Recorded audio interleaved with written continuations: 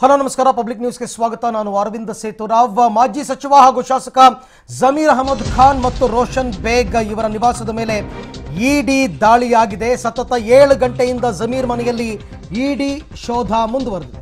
ಒಂದು ಕಡೆ ಸತತ ಏಳು ಗಂಟೆಯಿಂದಲೂ ಕೂಡ ಇಡಿ ಅಧಿಕಾರಿಗಳು ಶೋಧ ಕಾರ್ಯವನ್ನು ನಡೆಸ್ತಾ ಇದ್ದಾರೆ.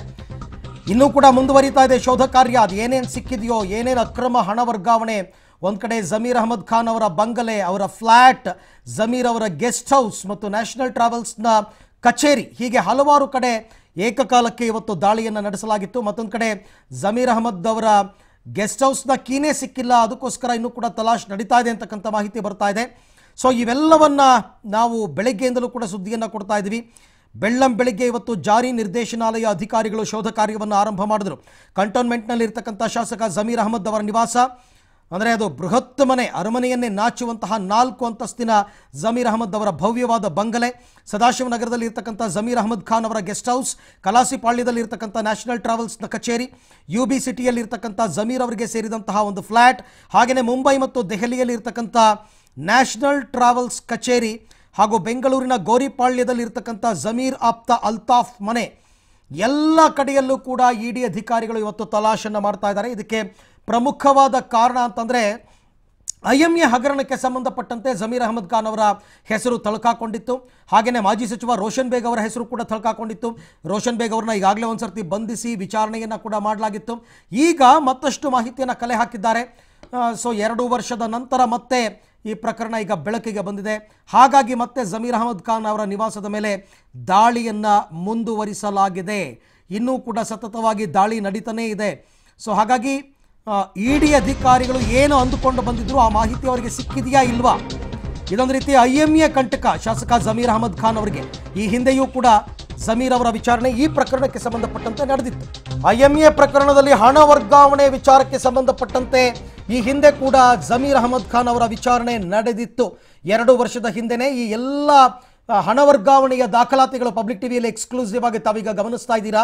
ಈ ಹಣ ವರ್ಗಾವಣೆಯ ದಾಖಲಾತಿಯನ್ನು ಇಟ್ಕೊಂಡು ಎರಡು ವರ್ಷಗಳ ಹಿಂದೆನೇ ಜಮೀರ್ ಅವರ ವಿಚಾರಣೆ ಕೂಡ ನಡೆಸಲಾಗಿತ್ತು. ಬೇರೆ ಬೇರೆ ಬೇರೆ ಬೇರೆ ಆರೋಪಗಳು ಕೇಳಿಬಂದಿತ್ತು. ಒಂದು ಕಡೆ ಶಾಂತಿನಗರದಲ್ಲಿ ಐದು ಕೋ, ಎರಡೂವರೆ ಕೋಟಿ ಬೆಲೆ ಬಾಳುವ ನಿವೇಶನವನ್ನು ಮನ್ಸೂರ್ ಖಾನ್ಗೆ ಇವರು ಐದು ಕೋಟಿಗೆ ಮಾರಿದ್ರು. ಐದು ಕೋಟಿಯನ್ನು ಬಡ್ಡಿ ರೂಪದಲ್ಲಿ ಚಿನ್ನಾಭರಣಗಳನ್ನು ಇಸ್ಕೊಂಡಿದ್ರು. ಒಂಬತ್ತು ಕೋಟಿ ಕ್ಯಾಶನ್ನು ಪಡೆದಿದ್ರು. ಹೀಗೆ ಹಲವು ಆರೋಪಗಳು ಕೇಳಿಬಂದಿತ್ತು. ಅಂದರೆ ಈ ರೀತಿ ಏನಾದರೂ ಅಕ್ರಮವಾಗಿ ವಿದೇಶಗಳಿಗೆ ಹಣ ವರ್ಗಾವಣೆಯಾಗಿದೆಯಾ? ಅದರ ಬೆನ್ನಹತ್ತಿದಂತಹ ಇಡಿ ಅಧಿಕಾರಿಗಳಿಗೆ ಸಾಕಷ್ಟು ಮಹತ್ವದ ದಾಖಲೆಗಳೆಲ್ಲವೂ ಕೂಡ ಲಭ್ಯ ಆಗಿತ್ತು. ಹಾಗಾಗಿ ಇವತ್ತು ಜಮೀರ್ ಅಹಮದ್ ಅವರ ನಿವಾಸದ ಮೇಲೆ ಇವತ್ತು ದಾಳಿಯಾಗಿದೆ. ಹಲವಾರು ದಾಖಲೆಗಳನ್ನು ಈಗಾಗಲೇ ವಶಪಡಿಸಿಕೊಂಡಿದ್ದಾರೆ. ಈ ಎಲ್ಲ ವಿಚಾರಕ್ಕೆ ಸಂಬಂಧಪಟ್ಟಂತೆ ಮತ್ತಷ್ಟು ಮಾಹಿತಿ ನನ್ನ ಕೊಲೀಗ್ ಮುರಳೀಧರ್ ಅವರಿಂದ ಪಡ್ಕೊಂಡ ಮುರಳಿ, ಸತತ ಏಳು ಗಂಟೆಗಳ ಶೋಧ ಕಾರ್ಯ. ಏನೆಲ್ಲ ಸಿಕ್ಕಿರಬಹುದು? ಏನೆಲ್ಲ ಶೋಧ ಕಾರ್ಯ ಆಗಿದೆ? ಎಷ್ಟು ಗಂಟೆಗೆ ಮುಗಿಬಹುದು ಇದೆಲ್ಲದರ ಬಗ್ಗೆ ಅಪ್ಡೇಟ್ಸ್ ಏನಿದೆ ಮುರಳಿ? ಖಂಡಿತವಾಗಿಯೂ ಅರವಿಂದ್, ಏನಂದ್ರೆ ಈ ಪ್ರಕರಣಕ್ಕೆ ಸಂಬಂಧಪಟ್ಟಂತೆ ಇಡಿ ಅಧಿಕಾರಿಗಳು ನಿರಂತರವಾಗಿ ದಾಖಲೆಗಳ ಪರಿಶೀಲನೆಯನ್ನು ನಡೆಸ್ತಾರೆ. ದಾಖಲೆಗಳ ಪರಿಶೀಲನೆ, ದಾಖಲೆಗಳು ಕೆಲವೊಂದು ಎಕ್ಸ್ಕ್ಲೂಸಿವ್ ದಾಖಲೆಗಳು ಈಗ ಪಬ್ಲಿಕ್ ಟಿವಿಗೆ ಲಭ್ಯ ಆಗಿರುವಂಥದ್ದು. ಅಂದರೆ ಮನ್ಸೂರ್ ಖಾನ್ ಟ್ರಾನ್ಸಾಕ್ಷನ್ನ ಒಂದಷ್ಟು ಕಾಪಿಗಳೇನಿತ್ತು, ಬೇರೆ ಬೇರೆಗೆ ಸಂಬಂಧಪಟ್ಟಂತೆ, ಬೇರೆ ವ್ಯಕ್ತಿಗಳಿಗೆ ಟ್ರಾನ್ಸಾಕ್ಷನ್ ಮಾಡಿದಂಥ ದಾಖಲೆಗಳೇನಿತ್ತು. ಆ ದಾಖಲೆಗಳನ್ನು ಈಗ ದೃಶ್ಯಾವಳಿಗಳಲ್ಲಿ ನೋಡ್ತಾ ಇದ್ದೀರಿ. ಅದೇ ರೀತಿಯ ದಾಖಲೆಗಳನ್ನು ಇಟ್ಕೊಂಡು ಅಂದರೆ ಪ್ರಮುಖವಾಗಿ ರೋಷನ್ ಬೇಗ್ ಇರ್ಬೋದು ಜೊತೆಗೆ ಬೇರೆ ಬೇರೆ ವ್ಯಕ್ತಿಗಳಿಗೆ ಟ್ರಾನ್ಸಾಕ್ಷನ್ ಮಾಡಿರೋಂಥ ದಾಖಲೆಗಳಿರ್ಬೋದು ಈ ದಾಖಲೆಗಳನ್ನು ಇಟ್ಕೊಂಡು ಈಗ ಇಡಿ ಅಧಿಕಾರಿಗಳು ಆ, ತನಿಖೆಯನ್ನು ನಡೆಸ್ತಾ ಇದ್ದಾರೆ. ಪ್ರಮುಖವಾಗಿ ಡಿ ಕೆ ಶಿವಕುಮಾರ್ ಅವರೇ ಹೇಳಿದಂತೆ ಎರಡು ವರ್ಷಗಳ ಹಿಂದೆ ಇ ಡಿ ಅಧಿಕಾರಿಗಳು ಮತ್ತು ಸಿ ಬಿ ಐ ಅಧಿಕಾರಿಗಳು ಇಬ್ಬರೂ ಕೂಡ ವಿಚಾರಣೆ ನಡೆಸಿರ್ತಾರೆ. ವಿಚಾರಣೆ ನಡೆಸಿದ ಸಂದರ್ಭದಲ್ಲಿ ಕೇವಲ ಆಗ ನಡೆದಿದ್ದಂಥದ್ದು ಕೇವಲ ರಿಚ್ಮಂಡ್ ಟೌನ್ನಲ್ಲಿ ಇದ್ದಂಥ ಒಂದು ಪ್ರಾಪರ್ಟಿಯ ವಿಚಾರ. ಆ ಪ್ರಾಪರ್ಟಿಯ ವಿಚಾರನ ಇಟ್ಕೊಂಡು ವಿಚಾರಣೆಯನ್ನು ನಡೆಸಿದ್ರು. ಈಗಿನ ವಿಚಾರಣೆ ಏನಂದ್ರೆ, ಪ್ರಮುಖವಾಗಿ ಈ ಪ್ರಕರಣ ಬೆಂಗಳೂರಿನ ಇಡಿ ಕೇಂದ್ರ ಕಚೇರಿಯಲ್ಲಿ ನಡೀತಾ ಇತ್ತು, ತನಿಖೆ ನಡೀತಾ ಇತ್ತು. ಈಗ ಅದು ದೆಹಲಿಗೆ ವರ್ಗಾವಣೆಯಾಗಿದೆ ಅಂತ ಹೇಳಿದ್ರೆ, ಅದು ಕಂಪ್ಲೀಟ್ಲಿ ವಿದೇಶದಲ್ಲಿ ಹಣ ವ್ಯವ ಹೂಡಿಕೆ ವ್ಯವಹಾರವನ್ನ ಇಟ್ಕೊಂಡಿದ್ರು ಅನ್ನೋದ್ರ ಬಗ್ಗೆ ಸ್ಪಷ್ಟ ಮಾಹಿತಿಗಳು ಮತ್ತು ಸ್ಪಷ್ಟ ದಾಖಲೆಗಳನ್ನು ಇಟ್ಕೊಂಡು ಈ ದಾಳಿಯನ್ನು ನಡೆಸಿರುವಂಥದ್ದು. ಆ ದಾಳಿಯ ಪ್ರಮುಖವಾಗಿ ಟ್ರಾನ್ಸಾಕ್ಷನ್ಗಳಿರ್ಬೋದು.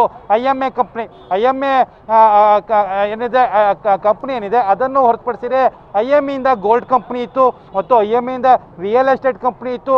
ಈ ಎಲ್ಲ ಕಂಪ್ನಿಗಳಿಂದನೂ ಕೂಡ ಟ್ರಾನ್ಸಾಕ್ಷನ್ ಆಗಿರುವಂಥ ಲಿಸ್ಟ್ಗಳೇನಿದೆ, ಆ ಲಿಸ್ಟ್ಗಳ ಮಾಹಿತಿಗಳೀಗ ಸಿಕ್ಕಿರುವಂಥದ್ದು.